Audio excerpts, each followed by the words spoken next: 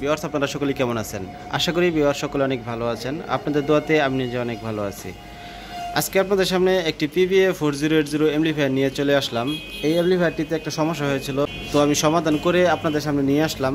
তো এই এমলিফায়ারটা কিন্তু এখন ফুল রানিং আছে ফুল কমপ্লিট আছে। তো এটাতে যে সমস্যাটা হয়েছিল, এটাতে লোড দেওয়া ছাড়াই ওভারলোডে চলে যেত। তো এইখানে যে ভলিউমটা আপনারা দেখতে পাচ্ছেন, এটাতে, এটা ফিফটি পার্সেন্টও তোলা যেত না। তোলা ফিফটি পার্সেন্ট ওঠানোর আগে এটা ওভারলোড প্রোটেকশন দিয়ে এটা অফ হয়ে যেত তো এখন কিন্তু এটা আমি ঠিক করে কমপ্লিট করেছি, যার কারণে এখন এটা দেখেন ভলিউম ফুল দেওয়ার পরেও কিন্তু আমি যদি এখানে গানও বাজাই তারপরে এটা ওভারলোডে যাবে না। তো এইরকম এমপ্লিফায়ার যদি আপনাদের রিপেয়ারিং করতে হয় সার্ভিসিং করতে হয়, তাহলে আমার কাছে নিয়ে আসবেন। আমি ইনশাল্লাহ আপনাদের এমপ্লিফায়ারগুলো যে অরিজিনাল কোয়ালিটি যেরকম থাকবে, ওইরকম রেখে আমি সার্ভিসিং করার চেষ্টা করব। তো আমি এই কথাটা বলার কারণ হচ্ছে, এই এমপ্লিফায়ারটা আমার কাছে নিয়ে আসার আগে আরেকজনের কাছে দেখানো হয়েছিল। তো সেই মেকার বা যে টেকনিশিয়ানে এই এমপ্লিফায়ারটার কাজ করতেছিল, সে আসলে কীভাবে কাজ করছে, এখন তো আমি এগুলা কমপ্লিট করে ঠিকঠাক করে আমি আপনাদের সামনে দেখাচ্ছি। কিন্তু এই সেটটা আমি যখন খুলছি, তখন এরকম অবস্থা ছিল না। এখানে অনেক হিবিজিবি অবস্থা ছিল।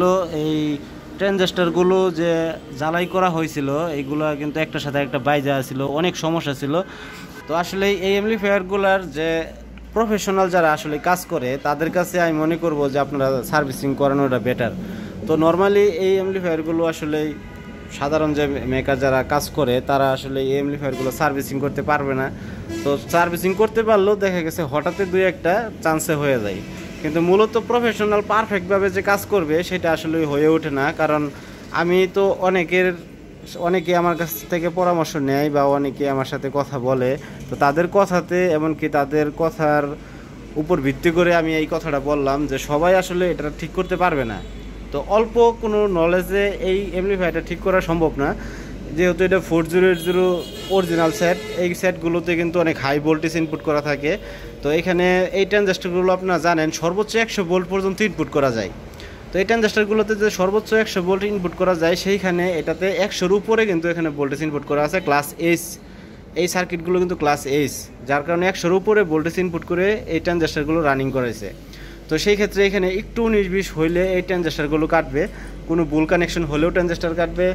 যে কোনো প্রবলেম যদি ঠিকঠাকভাবে সমাধান না করা যায় তারপরে এমপ্লিফায়ারটা চলবে না। তো এইখানে এই PVA four zero eight zero এমপ্লিফায়ারগুলোতে কী কী সমস্যা হয়, সেটার উপর আমি একটা ভিডিও আপলোড করব। তো আজকের ভিডিওটি আমি আপনাদের মাঝে নিয়ে আসলাম, শুধুমাত্র আপনাদেরকে জানানোর জন্য যে এই মেশিনগুলো আমার কাছে অ্যাভেলেবেল আপনারা সার্ভিসিং করাতে পারবেন, এমনকি অরিজিনাল যে কোয়ালিটি থাকে, সেই রকমভাবে আপনারা সার্ভিসিং করাতে পারবেন। মেশিন সার্ভিসিং করানোর পরে কেউ বুঝতেই পারবে না যে মেশিন সার্ভিসিং করানো হয়েছে। তো আমি এই কথাটা বলার মানে হচ্ছে যে এই অ্যাম্পলিফায়ারগুলো সার্ভিসিং করার পরে দেখা গেছে যে এই পিনগুলো এই ট্রানজাস্টারগুলোর এই পাগুলো জ্বালাই করা হইলে দেখা গেছে সার্কিটে স্পট থাকে বা বিভিন্নভাবে মানুষে বুঝতে পারে যে সার্কিটে কাজ করানো হয়েছে।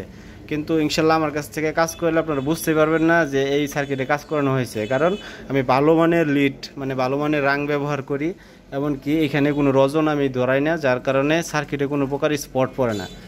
তো সেই জন্যই আমি বলব যে এই মেশিনগুলো আপনারা যার কাছ থেকে সার্ভিসিং করান, সে যেন ভালো এক্সপার্ট হয়, সেই ক্ষেত্রে আপনারা এই মেশিনগুলো সার্ভিসিং করানোর পরেও অরিজিনালের মতো সাউন্ড কোয়ালিটি পাবেন। তো এই মেশিনটা এখন অরিজিনাল যেরকম সাউন্ড কোয়ালিটি ছিল, ঠিক ওইরকমই আছে।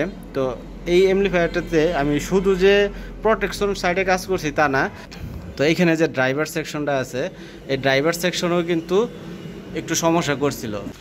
তো এটা সমস্যা করছে কীভাবে? এইখানে যে দেখেন ড্রাইভার সেকশনে যে ট্রানজেস্টারগুলো আছে, এই ট্রানজেস্টারগুলো কিন্তু দুই পা একসাথে শর্ট করে দিয়েছে বা বিভিন্নভাবে রেখে দিছে কারণ এগুলো ছুটানোর জন্য সোল্ডারিং বাজানো হয়েছে, কিন্তু ছুটাইতে পারে নাই। এইভাবেই রেখে দিছে রাখে, রেখে দিয়ে যার মেশিন তার কাছে ফেরত দিছে তো মেশিন ফেরত দেওয়ার পরে কিন্তু যিনি এই মেশিনটা যে মালিক, এই মেশিনটার মালিক যিনি, উনি কিন্তু পরে বাসায় নিয়ে আসার পরে বা দোকানে নিয়ে আসার পরে আবার লাইন দিছে, লাইন দেওয়ার পরে এগুলো সব কাইটা গেছে।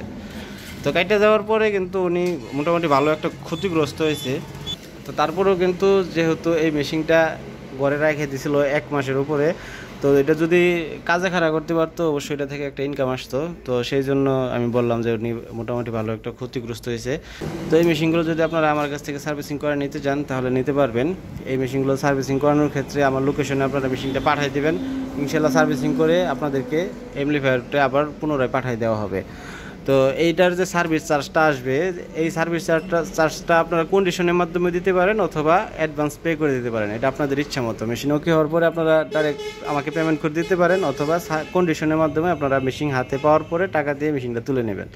এরকমভাবেই আপনারা এটা সার্ভিসিং করে নিতে পারেন। তো আমার দোকানের ঠিকানা, আমি আমার দোকানের একটা কার্ড দেখাই দিচ্ছি।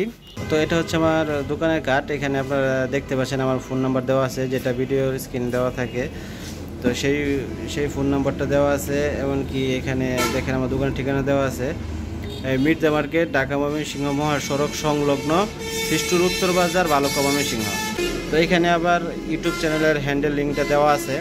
তো আপনারা এই এই লোকেশনে এমপ্লিফায়ারগুলো পাঠিয়ে দিলে ইনশাল্লাহ সার্ভিসিং করে আপনাদের লোকেশনে আবার এমপ্লিফায়ারটা চলে যাবে।